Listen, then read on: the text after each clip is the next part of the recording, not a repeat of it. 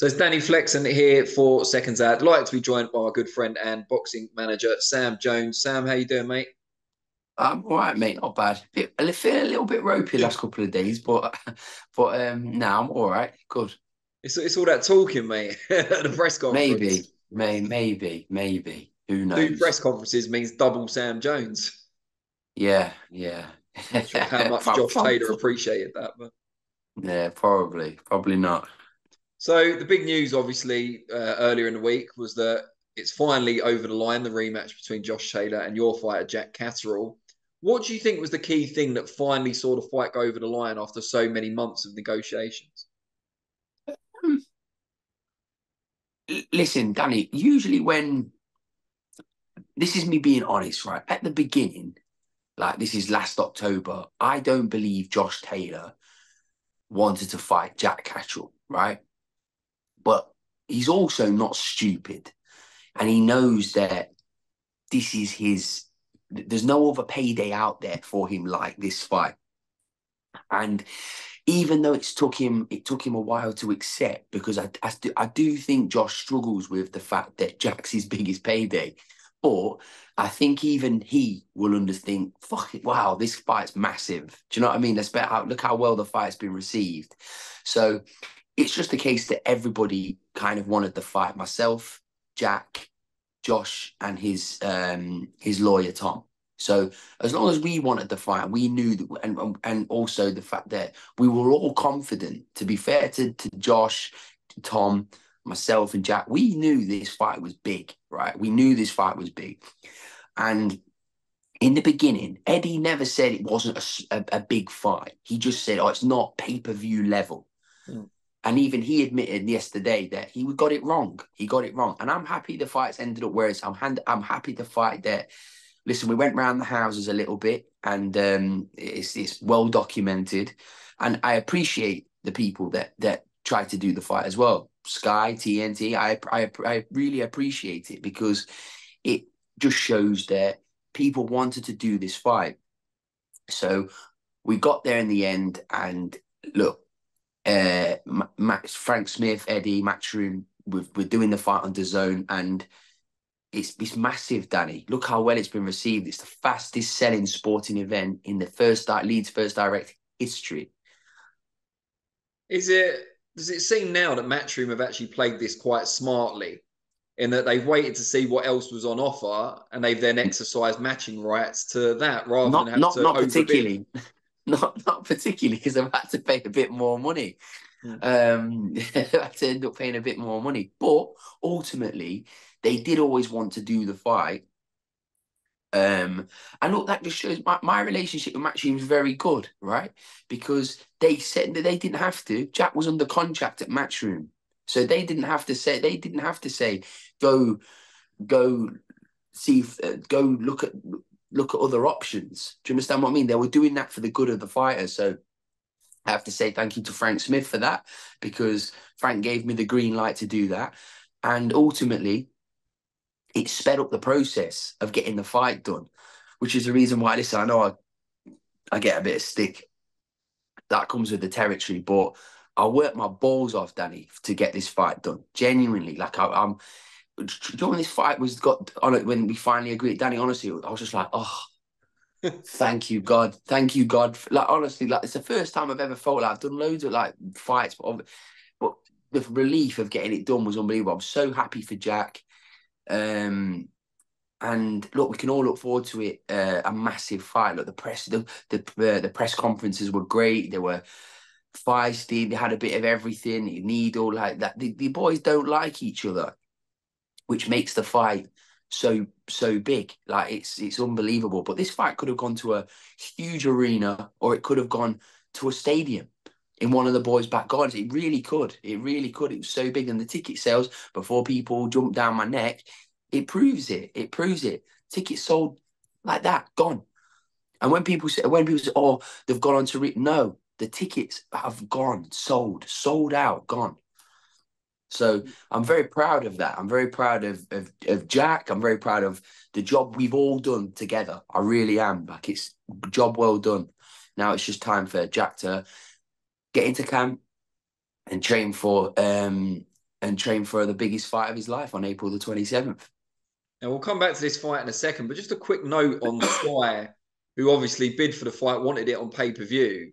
Yeah. They had two pay per view fights last year, which isn't a lot for Sky. Um, yeah. One of which, or the second of which, was won by Chris Eubank Jr., who isn't just a Sky fighter. Now yeah. they've lost out on this. I know they've got a slice of the uh, Knockout Chaos event out in Riyadh.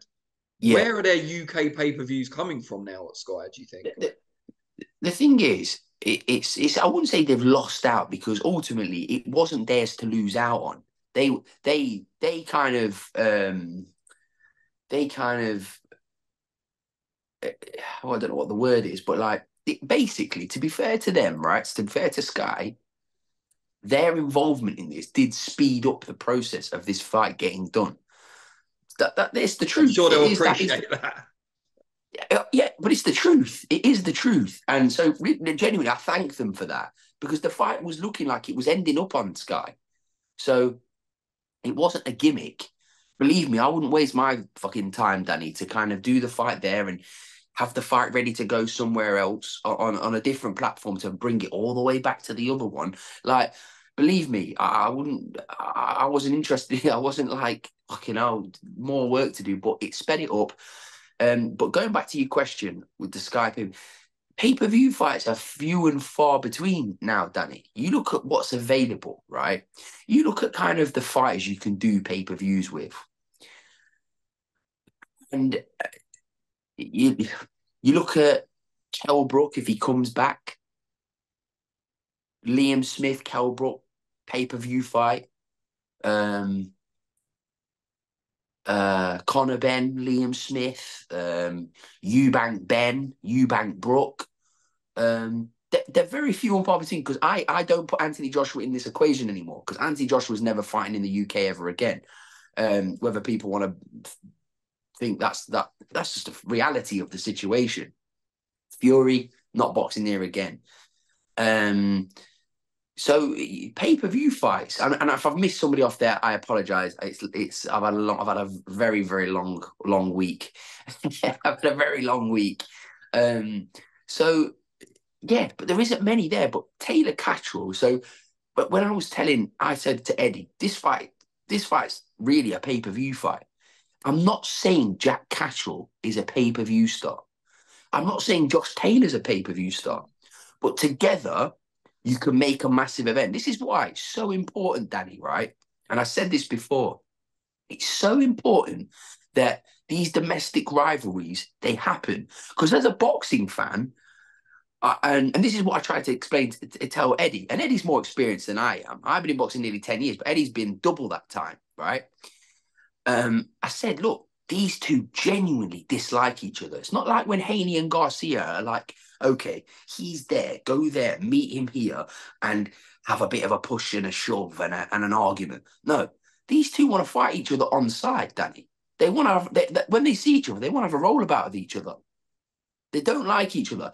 But it's like, but this is what I'm saying. What, what I'm going around the houses, but what I'm trying to say is it is so important that we we make these domestic fights. You look at the, the Wood Warrington, the, the first one, never sold out as fast as uh well, I didn't think it did sell out, but it was still a big fight. But I'm saying like Wood Warrington, um, Eubank Benn, a Yarde against Buatsi, Wardley Clark, great fight. Um, Azim against Dalton Smith. Like these these I'm just I'm using and if I've missed any out, I I apologize because there is loads. There's loads that you can make. It's so important we keep making these domestic fights because this is what sells. This is what's what the armchair fan wants to see. They want to see rivalry. They want to see domestic rival rivalry fights. And and and Catterall Taylor's proof of that. I know it's got a story behind it. Was again with the controversy of the first one, but it shows you, you need dance partners to make great events, and that's and that's uh, and it's it's never been more evident than it is now when you look at the size of, of Taylor Catterall. You said Joshua and Fury never fight in the UK again. That's quite a big mm. thing. Never. You see the Saudi dominance going on for that long, or you see Joshua's career not being much longer? It, it's it's not just that, Danny. I just think that Fury's 35 I think AJ's 35 this year, uh, 34, 35. They've not got that long left, either of them. And you you can't expect Tyson Fury to earn, I don't know, for argument's sake, 100 million or 80 million, whatever he's making for this Usyk fight, and then go and fight, I don't know, he's mandatory. Hrgovic, free, and we'll use Hrgovic as an example, in the UK for 8 million, 10 million. Like, like he, he's used to earning that type of bread.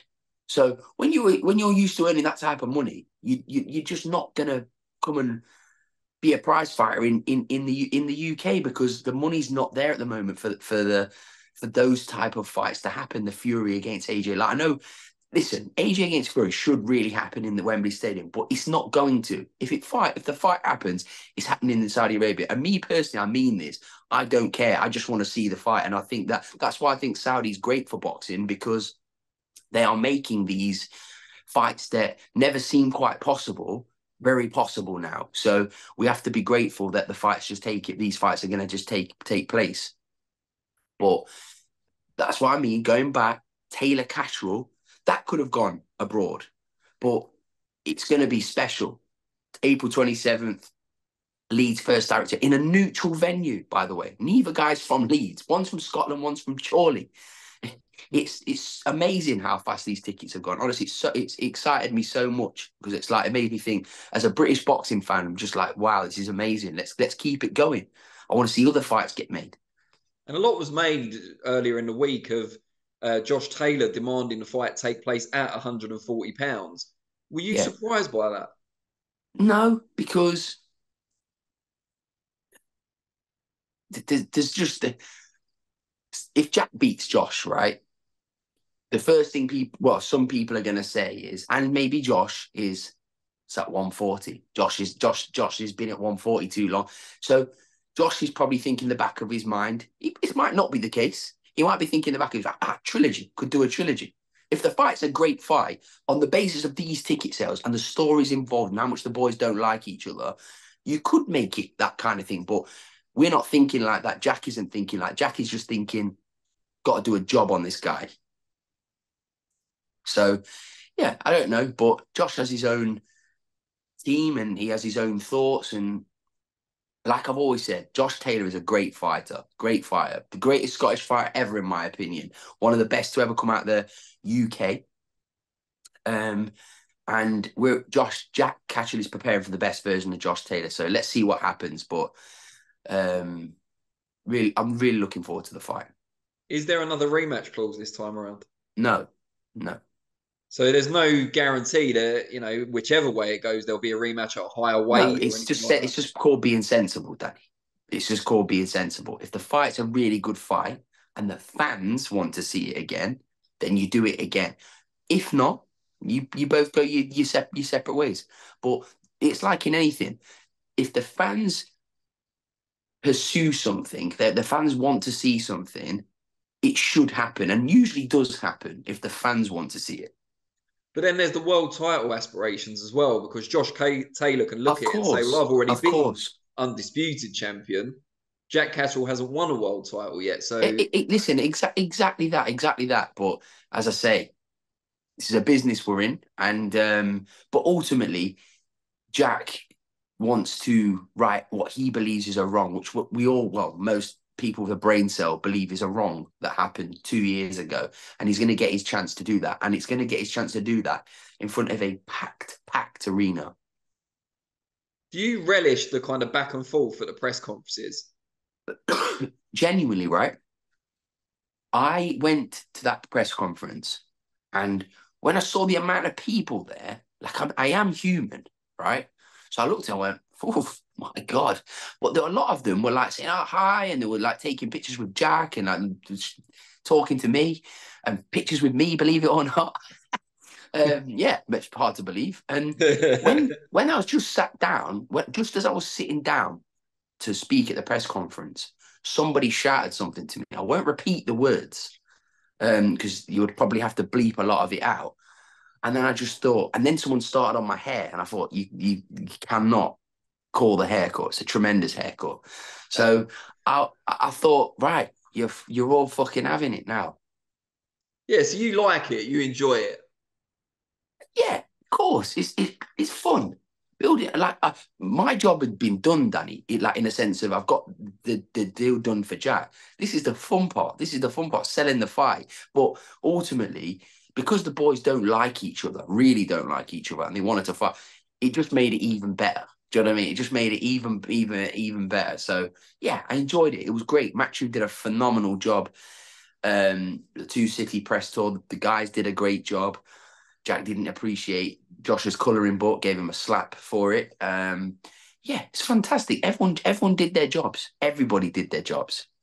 Yeah, he said um, it's not a gift for a 30 year old man, but then a little while later said, oh, I love colouring, I love crayons.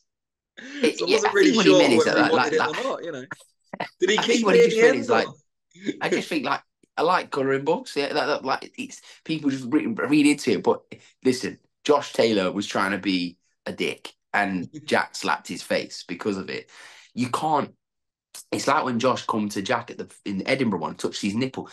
They're not in a position to like be, be touching each other or coming that close to each other. They're gonna they're going to swing at each other. But luckily, it never got out of hand. Bit of a slap, bit of a grab, bit of, bit of a neck grab, and a few, bit of a colouring book pass and a teddy bear pass. I've still got the teddy bear that Josh gave me, by the way, in the Talk Sports, Talk Sports studio. My son loves it. Um, but yeah, it, I thought the I thought it sold really well. I do think that the fight would have sold anyway, but because of the press conference and the way they clashed, um, the, the way they kind of came together and the, the backwards and forwards, I think just made it even better. So just everybody smashed it. Everybody smashed it. Everybody did their job, and everybody's looking forward to this fight. Everybody is.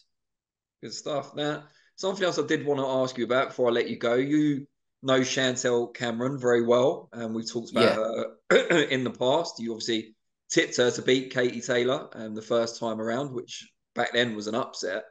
Um, ahead of the third fight between the two, she's changed trainers. What yeah. what do you make of that, and and how, if any way, will it affect the trilogy fight? Nothing. she's gone to Grant Smith. Grant Smith's one of the best trainers in the country, in my opinion. I think he's very underrated. So I think it's because Grant doesn't speak much. He doesn't really get the recognition he deserves. Really good gym, um, tremendous fighters in there, um, and uh, she just probably wanted a change. Been with Jamie a long time. I don't think this, uh, Jamie's one of the best guys you could ever meet, one of the best trainers in the country, also. And I think they've just amicably said, right, great, been a great ride. Um, good luck, kind of thing. There's been no, anim- I know for a fact there's no animosity there whatsoever. Um, that's not the way Jamie and Nigel work. So, no, Chantelle's just doing what she thinks right for her, and I think Jamie like was like, but the pair of them kind of just thought, probably decided together, maybe it's best you go do that, and uh, really good luck. And uh, I think they'll they'll do really well together, uh, Chantelle and Grant. What do you think the perception will be from Taylor's camp of this move? Will it be, you know, this is a bit of an nothing. erratic thing to do? Nah, nah, nothing, nothing, because the fight will be exactly the same. All three fights are going to be exactly the same. They can only fight each other one way, and it's going to be another great fight if it happens. So then, what makes the difference? If all the fights are very similar, why did Chantelle win the first and lose the second? You, because sometimes you, you, you, I don't know, change, fresh change of scenery. Like, like you, you, you don't know. It's that they've they've worked together a long time, haven't they? Uh, oh no, Jamie no, I don't Chantelle. mean that. Sorry, I probably wasn't clear. So you said they're always going to fight in exactly the same way because of the styles. What yeah. made the difference in terms of Chantelle winning the first time around and then losing the second? Um, the second time, listen, I didn't think the ref was very good. I think Chantelle was very unfortunate not to get a knockdown with Katie. I'm not saying because I think Katie, the right, the right uh, lady, won the fight. I think Katie did win the second fight, but it was very close, nothing in it. The first one, I think Chantelle won it convincingly. The second one, I think Katie just maybe have just uh just I, I she just she maybe just wanted it that little bit more than Chantelle in the second fight, and then the third fight you might get a repeat of the first fight or a repeat of the second fight. So you're going to get the similar kind of fight, which is an all action, unbelievable fight. There's no other fight out there for either either uh, lady at the moment. Katie Taylor needs to. It's one one. You need to you need to settle it.